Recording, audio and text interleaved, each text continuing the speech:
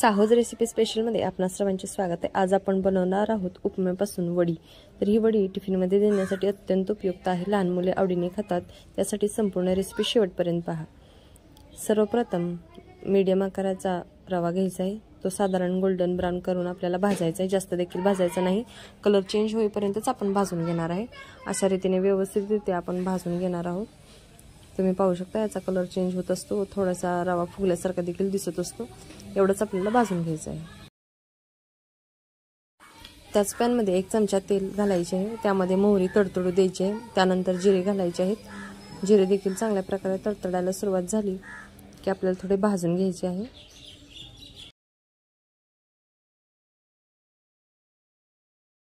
लहान मुलांसाठी बनवत असल्यामुळे मिरचीचा इथे कमी वापर केलेला आहे. चारच तुकडे ॲड केलेले आहेत.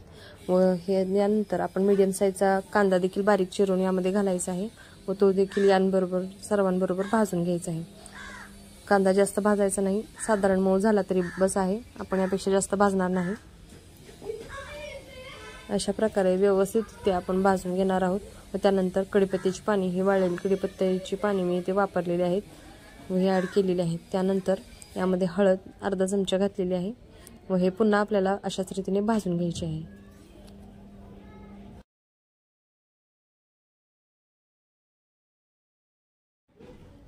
यानंतर शेंगदाणे आपण कच्चेच ॲड केलेले आहेत. कांद्याबरोबर तेही भाजायचे आहेत. जर भाजलेले शेंगदाणे घातले तर जास्त भाजायचे नाहीत एक ते दोन मिनिट पुरेसे आहेत. हे आपण कच्चे घेतल्यामुळे आपण थोडे भाजणार आहोत. तीन ते चार मिनिट आपण अशाच रीतीने भाजून घेणार आहोत. जास्त कांदा फ्राय झाला नाही पाहिजे. साधारण भाजला गेला पाहिजे. असेच भाजायचे आहे.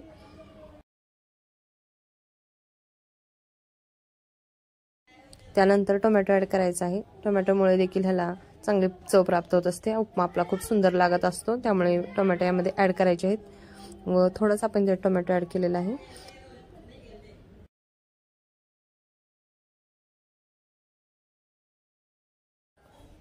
टोमॅटो मोशर शिजावं म्हणून लगेच त्यामध्ये आपल्याला थोडे चवीनुसार मीठ ॲड करायचे आहे. व पुन्हा हे सर्व मसाले एकत्र भाजून घ्यायचे आहेत. सर्व मिश्रण चांगल्या रीतीने भाजून झाल्यानंतर भाजलेला जो रवा आहे तो यामध्ये ॲड करायचा आहे. व तो देखील या मसाल्यांबरोबर साधारण एक ते दोन मिनिट भाजून घ्यायचा आहे. सर्व एकजीव झाले पाहिजे अशा रीतीने आपल्याला भाजून घ्यायचे आहे. त्यामुळे उपमा हा सुंदर होत असतो. अशाच रीतीने आपण दोन मिनिट भाजून घेणार आहे.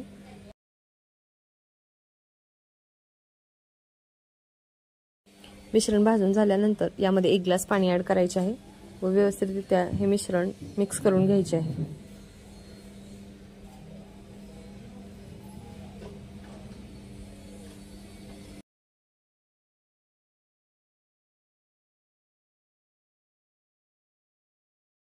मिक्स करून झाल्यानंतर यामध्ये थोडीशी कोथिंबीर बारीक चिरून घालायची आहे. त्याचबरोबर टोमॅटोचे काही काप देखील आपल्याला यामध्ये ॲड करायचे आहेत. अशा रीतीने आपल्याला आता साधारण पाच मिनिट हा उपमा चांगला शिजू द्यायचा आहे.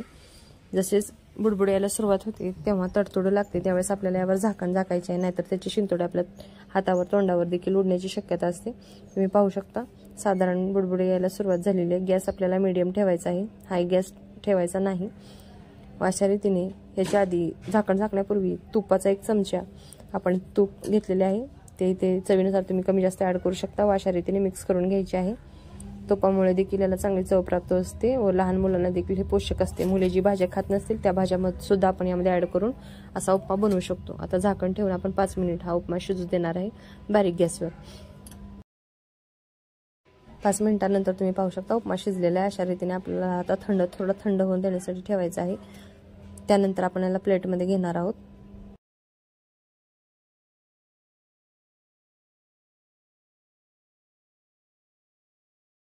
वडीचा शेप देण्यासाठी आता प्लेटमध्ये आपण घेतलेले आहे. व अशा रीतीने साधारण गरम आहे जास्त गरम नाही. अशा रीतीने आपल्याला उपमा स्प्रेड करायचा आहे. जशी आपण भाकरीचा शेप गोलाकार असतो तसंच आपल्याला उपम्याचा शेप देखील चपातीसारखा भाकरीसारखा करून घ्यायचा आहे. पण सर्व बाजूंनी त्याची जाडी एकसारखी हवी म्हणून सर्वप्रथम आपण अशा प्रकारे हलव्या हळूवार हाताने असे दाबून करणार घेणार आहोत प्रेस करणार आहोत. तुम्ही पाहू शकता. अशा रीतीने आपल्याला साधारण हलक्या हाताने दाबायचे आहे. व हे पसरवून घ्यायला बाय घ्यायचे आहे. खूप सुगंध यायला सुरुवात झालेली आहे. तुम्ही पण अशा प्रकारे एकदा बनवून पहा. रेसिपी आवडल्यास चॅनल सबस्क्राईब नक्की करा. आपण व्यवस्थितरित्या सर्व बाजूने आपल्याला एकसारखे स्प्रेड करून घ्यायचे आहे. साधारण एक ते दोन मिनटात आपल्याला हे आपल्याला लवकर स्प्रेड करायचे आहे. जोपर्यंत गरम आहे तोपर्यंतच त्याला शेप द्यायला सुरुवात होत असते.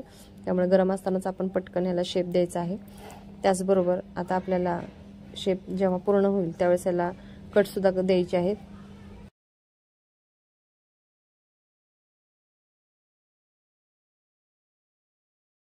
आता चाकूच्या साह्याने अशा प्रकारे आपल्याला सर्वप्रथम उभे रेषा चिरो अशा पाडायच्या आहेत. तुम्ही पाहू शकता. उभ्या रेषा मारल्यानंतर आपल्याला आडव्या रेषासुद्धा मांडायच्या आहेत. त्यामुळे आपल्याला चौकोनाचा शेप प्राप्त होत असतो. तुम्ही पाहू शकता. उभ्या रेषा आपण अशा मारून घेतलेल्या आहेत.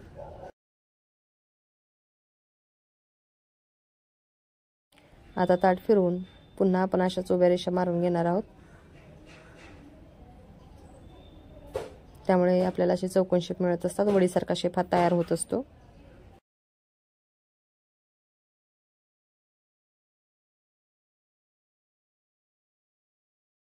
दोन ते तीन मिनिट थंड झाल्यानंतर अशा प्रकारची आपल्याला वडी मिळत असते. तुम्ही पाहू शकता खूप सुंदर टेक्स्चर याला आलेले आहे. लहान मुले आवडीने खूप खात असतात. चहाबरोबर बेस्ट पर्याय नाश्त्यासाठी आपण अशा प्रकारच्या वडी बनवू शकतो. उपमा तर रेग्युलर आपण बनवतोच पण अशा प्रकारे वेगळ्या शेपमध्ये जर बनवला तर सर्वजण आवडीने देखील खातात. एकदा ट्राय करून नक्की पहा. व आपले अनुभव साहज रेसिपी स्पेशल चॅनलला कळवत राहा. झटपट होणाऱ्या रेसिपीजसाठी साहज रेसिपी स्पेशल चॅनलला लाईक करा शेअर करा सबस्क्राईब करा. व सर्वात आधी नोटिफिकेशन मिळण्यासाठी बेल आयकॉनवर देखील क्लिक करा. तुम्ही पाहू शकता खूप सॉफ्ट पण टेस्टी अशी आपली ही वडी बनलेली आहे. संपूर्ण रेसिपी पाहिल्याबद्दल धन्यवाद.